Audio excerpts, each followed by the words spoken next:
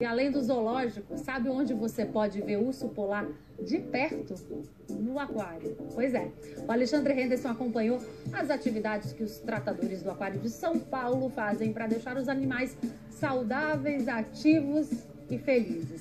O Alexandre passou um dia inteiro cercado de lêmures, morcegos, cangurus e, claro, os lindos e fofinhos ursos polares.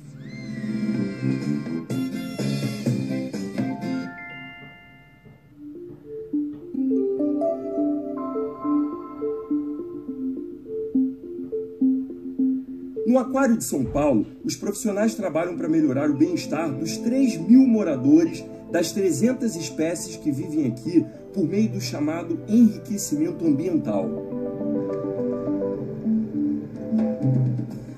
Eu vim ajudá-los a entender como é que isso funciona, começando no espaço de um bichinho especialmente fofo.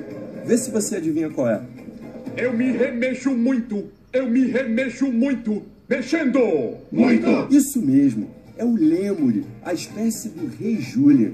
São esses primatas de olhos gigantes naturais de Madagascar, que aqui estão um pouco menos rebolantes do que no filme. Estamos no setor África, onde vivem justamente os lêmures. Essa aqui é a Fabiana, chega aqui, ó. Esse aqui é o Daniel, e a gente está trazendo aqui, ó, essas bolinhas, são pet balls, tá? Tem comida aqui, o que tem aqui dentro? Tem ração, batata doce, cenoura, beterraba, que pertence aí à dieta deles. Comidinha aí para os bichos. E tem vários elementos aqui de enriquecimento ambiental. Correto. Tá? Vamos botar isso aqui? Vamos.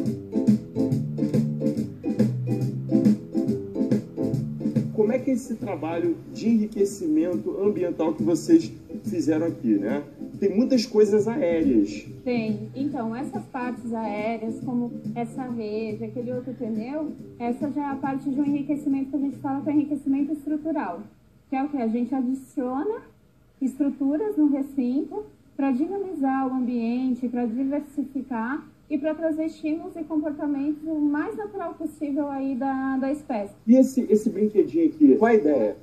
A ideia da, da pet ball é o quê? Tentar dar uma dificultada no acesso deles ao alimento. Mas se eu botar aqui dele, ele não vai pular em cima de mim, não? não, esse é o matula.